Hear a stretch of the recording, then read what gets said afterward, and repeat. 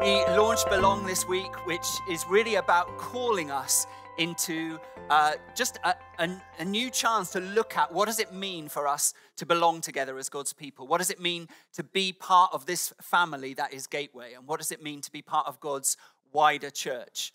Um, we are aware that you know there's been lots of change amongst us at Gateway over the last year or two. There are people from who have been here for 30 years, there are people who've been here for a month or two. There are people from all sorts of different um, backgrounds, uh, both within the UK, from other nations, um, different experiences of church.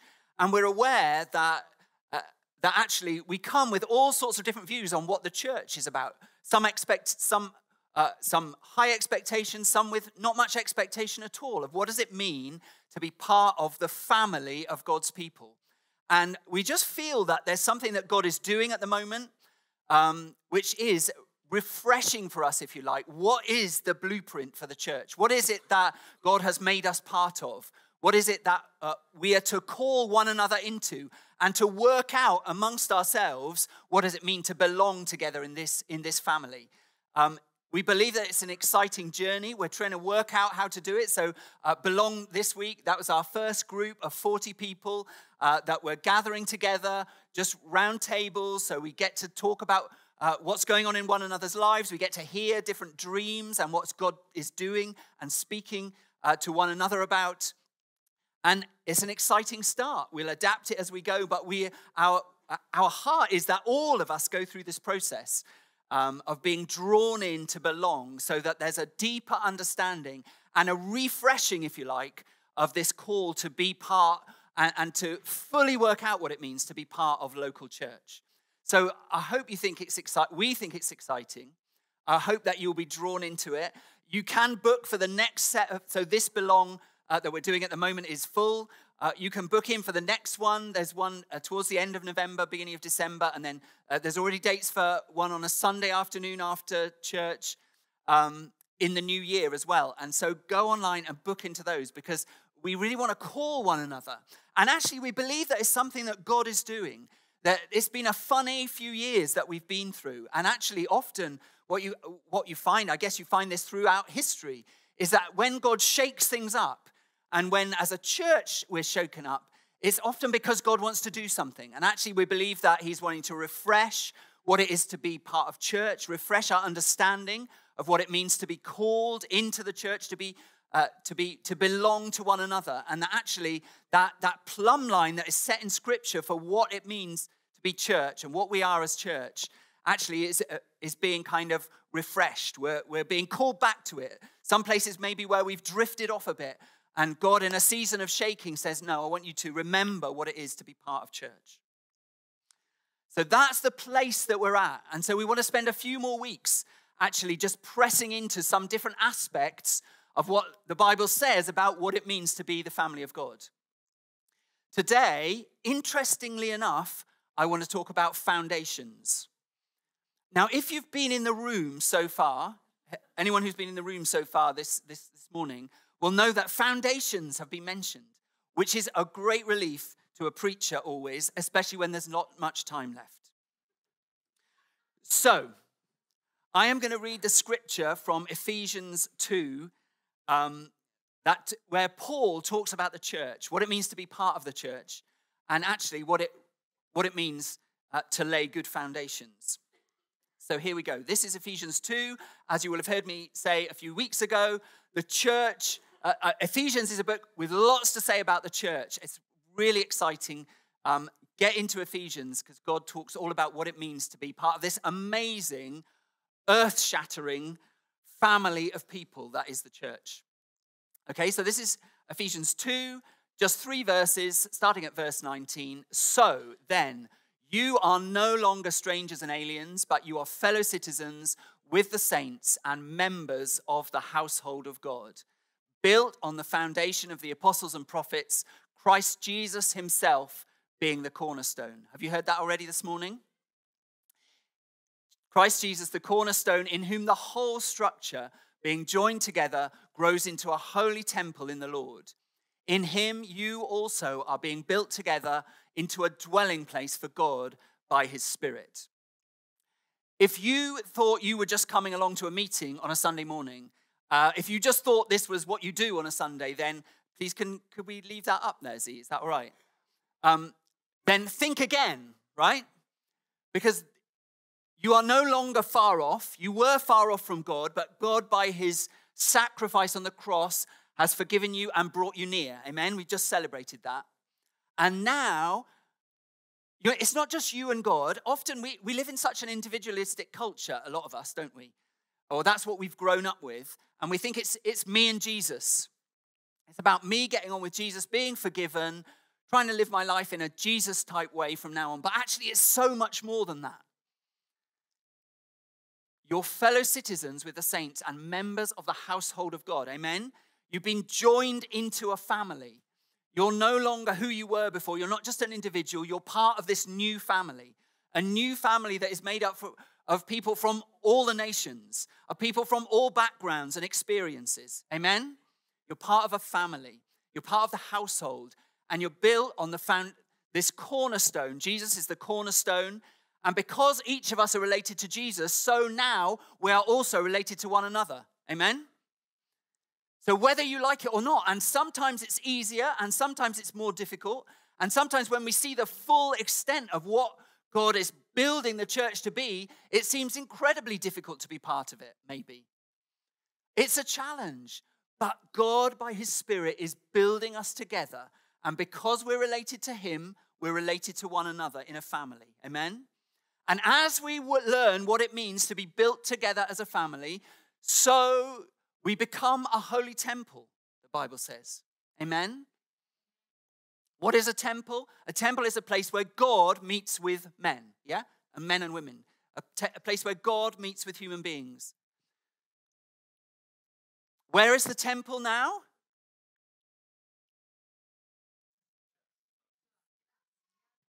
In us. Amen. It's not here, it's not church, it's wherever you are, yeah? It's wherever we are, in our, in our streets, in our workplaces. The temp, that's when God now meets with people.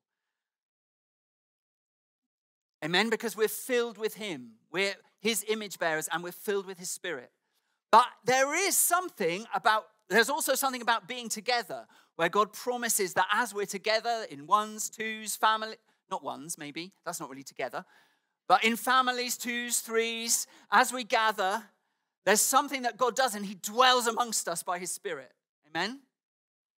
What an incredible thing that the living God, the creator of the universe, the God of all history, the beginning, the one who is from everlasting to everlasting, He promises to dwell amongst us.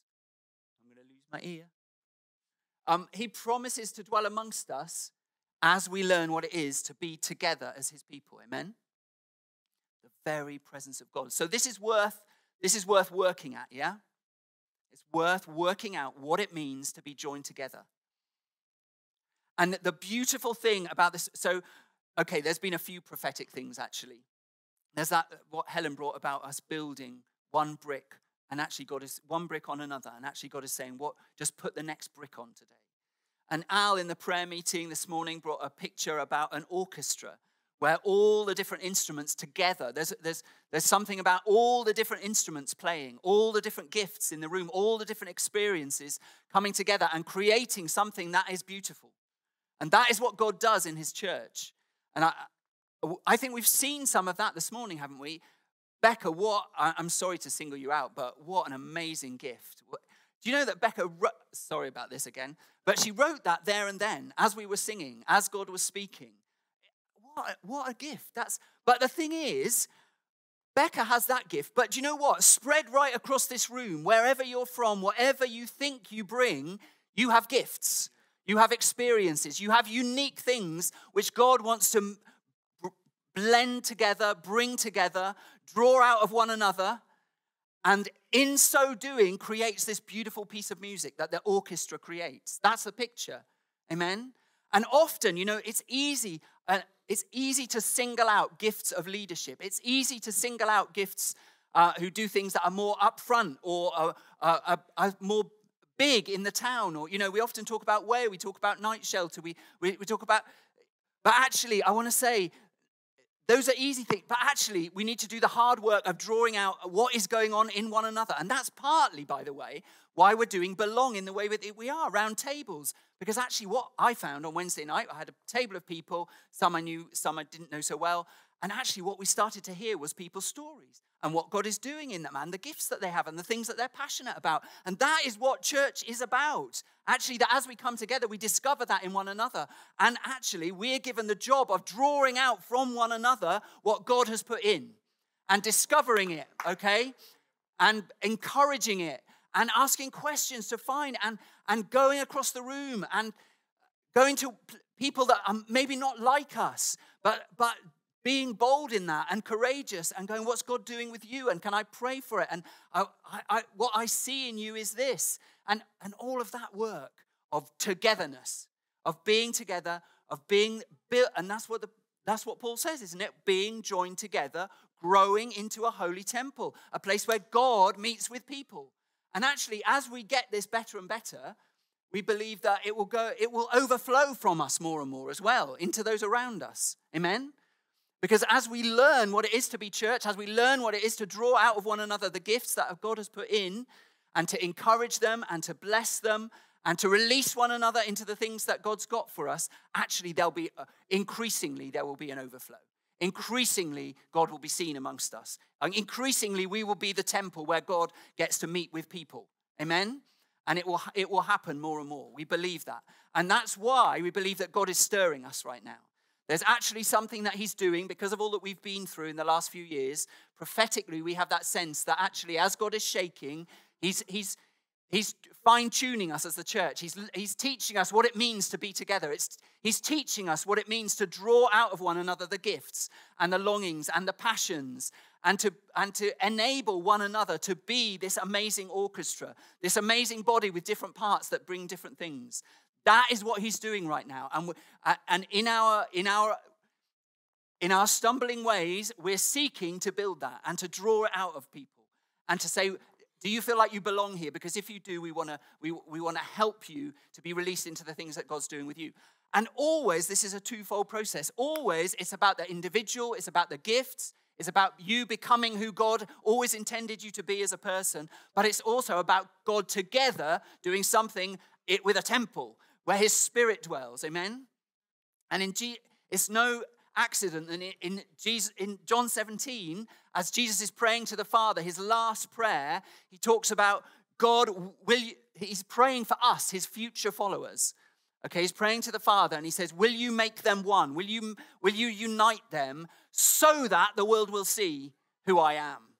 So that the world will know. There's something about us learning what it is to be together.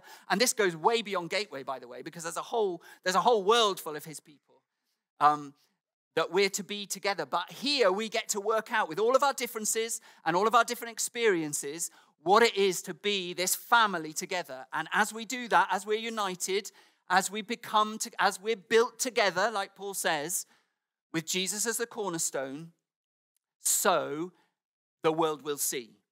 Amen? So actually, God is in the business of building his church, of causing us to be all that he intended us to be.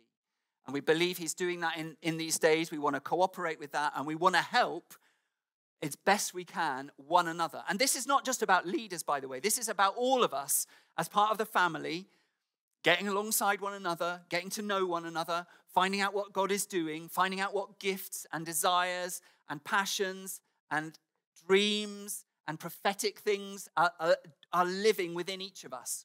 And right now, you might think, oh, well, there's nothing. I don't, I, I don't have.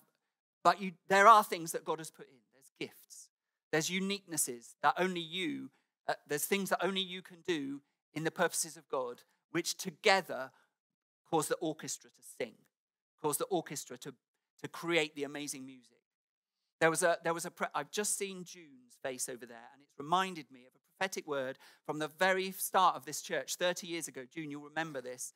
Somebody brought it about God is putting on a massive production. Don't write yourself out of the script. Do you remember that, June? It, it, it, lived with us in the early days when Swindon Family Church, as it was then, what became Gateway Church, when it was only small. God is putting on a huge production. Don't write yourself out of the script. And these are days where God is drawing us and calling us. I was going to talk about the foundation of the apostles and prophets. I'm not going to do that, that would be foolish. What I would love us to do, actually, I think, is, to, is actually to pray for one another. Because I believe in these days God wants to activate us by His Spirit. We'll get to the foundation of. I was going to explain to you what the foundation of the apostles and prophets were, but that, that will need to be another day. Because right now, I think God wants to build some foundations in us and in us together. And I know we're talking about this a lot at the moment, but that's because we believe that this is what God is doing in this season. And there are many people that God wants to join in now. There are many people that God wants to release into the dreams and the things that He's put in their heart. You know, I was thinking of examples of this this morning and things that some things get mentioned, some things don't. And I, I really want to say if, if your thing doesn't get mentioned, that doesn't mean God's not working. And we need to get better at telling one another the stories of what God is doing amongst us, actually. One of the joys of being around the table at Belong on Wednesday evening was just hearing those who have a passion for, for actually being in their workplace where God has put them nine to five during the week, because actually that's one of those areas that we don't often talk about. It doesn't get profile, but actually many, many of us are called, and that's the primary place where we get to work out what it is to be image bearers of God.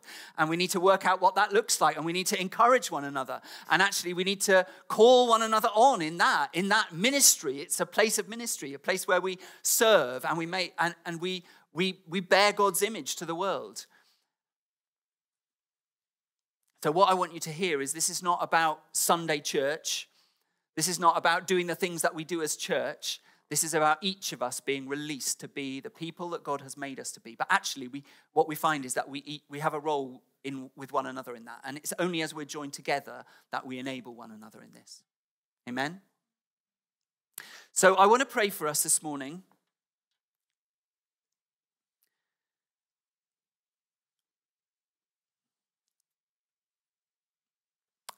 I, do, I, want, I want to pick up on, on Helen's prophetic words.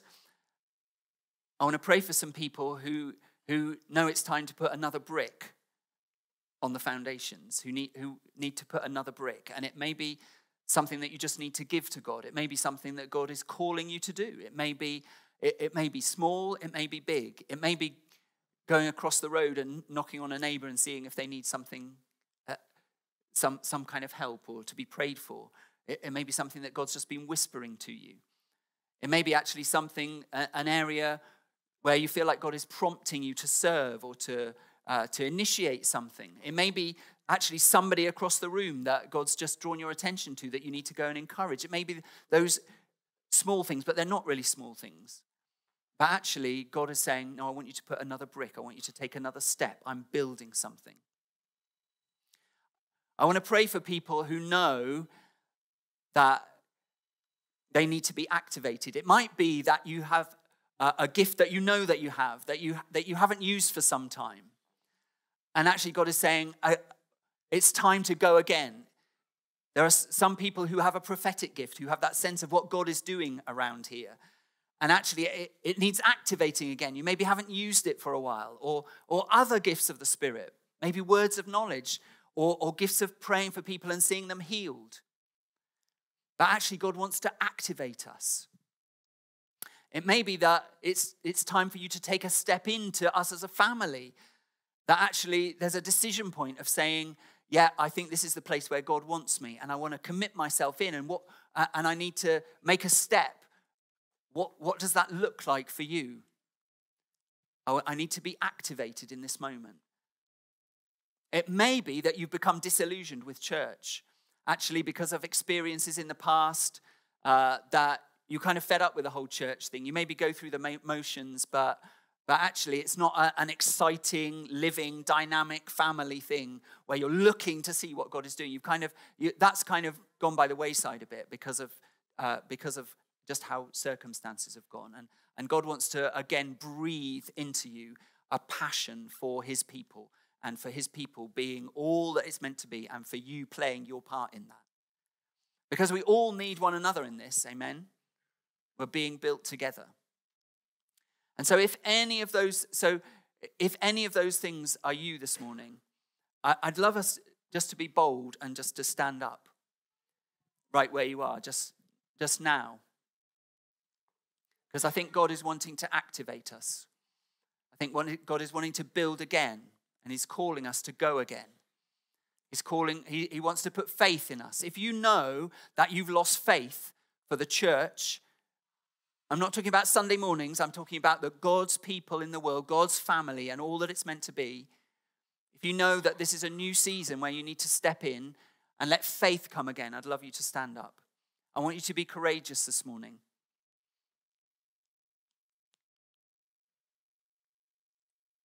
It always takes, it always takes steps of boldness. It always takes steps of courage. But God wants to work. So, can we just close our eyes? Let's lift our hands before Him.